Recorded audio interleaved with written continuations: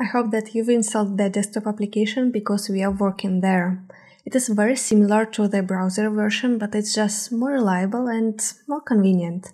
In our brand new account, we already have some Figma files. They are pre-created, so it's easier for us to start and just explore the opportunities that Figma has. Let's explore what we have here. At the top, we have Figma Jam files. FigJam is a tool for ideation process and for research analysis. It's like a whiteboard with the collaboration properties. It's very nice from Figma to pre-create for us the templates for the team collaboration like brainstorming session or research analysis. Then we have pre-created design files. What we have here? Figma Basics, it's the file where Figma explains its basic functionality. Prototyping in Figma, it's a simple interactive prototype that is made for you to explore some prototyping functionalities. And wireframing. Wireframing is exactly what we are going to create soon, so take a look at this file. It has some standard wireframing blocks, so you can find it useful. And the team library. It is a design system for team projects. It is located not in drafts like every other pre-created file, but as you might guess, in the team project. Let's first understand where we are. We are in the Recent tab. It is a tab where you can find all the files that you have recently opened or modified. But the files are actually kept in other places, like in drafts for example. You see there are less files, because the team library is not kept in drafts. While you are studying and you want to remain on free Figma plan, you can keep all your files in drafts until you have complex projects with several files or until you need someone to collaborate with, it might be enough. Team projects allow only three files in free plan, so if you keep the files there, you need to create a new team each time. Next, Community tab. It leads to another interface. It's easy to get lost there. I will show you how to return back in the moment. In community, you can find many useful Figma files that other people open sourced. You can easily copy it and start using. There are a lot of interesting stuff there. For example, Google have published its material design kit. So everything that is specified in the kit are just there in Figma and you can use it. Figma also has created some educational resources there, and other users are sharing many useful stuff icons, illustrations, UX maps. A lot of awesome content. I suggest you to explore it. Good, but how do we return back from the community? We are in a completely different place without previous navigation. On the left upper corner, there is a globe icon. If you click on it, you'll find your account. I have three already, one main one and two others I have created while recording the video for you and community. We are here right now and we need to return back to our account. We press on the account and we are back. Next, we have a team project that Figma have pre-created for us. And we can also create a new team project. Let's explore what we have here. Teams are very powerful in a paid plan and I will show you later what it suggests. But in the free plan, team projects are very limited. On free plan, you can create only one sub-project inside a team, this one. So you cannot create more sub-projects there. And in the sub-project, you can create only three files. How teams can be useful? First, you can keep your design system separately that other files in the team can inherit. Figma has already pre-created a design system for us that is called Team Library.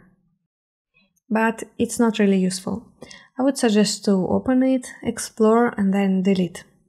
It's not a good one, but as long as other file would inherit it, you can easily be confused. For example, you have green and red color in the design system. When you create a new file, it can inherit the system and it will know that we have green and red colors. It's useful for the product work when you have multiple files that share the same design system. But for small projects like landing page that we are going to create, it's not really useful. It's more convenient to keep the design system in the same file, especially because we are going to keep the file in the drafts as we are on the free plan. Now I'm going to show you how Figma looks like on a paid plan, so you know what you will get if you pay for it. Figma charges for every team, so every team that you have with its subprojects is a paid team. The more teams you have, the more you have to pay. Team is super useful for product work, so if you have a big digital product with a lot of different files, keep them in one team. Other people that you invite to the team can see the whole team project, or even edit it if you set such permissions. So everyone will have an organized view of the project. When there are a lot of files, it's easy to create a mess in the drafts, so it makes sense to keep them in a team. Teams also give your design system a superpower. As you can see, I have a sub-project where I keep several files with different parts of the design system. For example, I have separate desktop and mobile design system. When I create a new file, I can tell Figma which design system I want to inherit. For example, in this file, I am inheriting the desktop design system. It tells me that I have the updates in the design system right away, and I can check what have changed and update my file accordingly. Actually, I've made these changes myself, but if you're working in a team, this can be very valuable. When you click Update, all the components from the design system will be automatically updated according to the changes. Take a look at the file organization. Here in this file, I have the layout dedicated only to one feature or topic, task feature in this case. And in this file, I have several pages that are related to the feature. Task list, task drawer, complete task, share task and every page has some specifications titles, subtitles, and a description. Sometimes I need to describe the behavior, sometimes I need to insert a link or describe the permissions. Everything I specify here, so developers can find it for sure. It helps to avoid the situation when the developers have done something and it turned out not something that you imagined because the specification was somewhere in different place and the developers forgot it or didn't even know it existed. The simpler it is for developers, the more chances there are that you get what you have designed. Here's how the team project can be organized for one product. So this team is dedicated to one product. And if I have another product, I create a separate team for that. But if you are freelancing, it makes sense to create only one team and for every project create a sub-project. Why? Because every team is paid separately, but in one team you can create a lot of sub-projects. So you can invite your clients to the separate files and not to the whole team. If you are freelancing, I suggest you to create only one paid team and keep your files organized by projects or by clients. Let's return to our new account and create our first design file.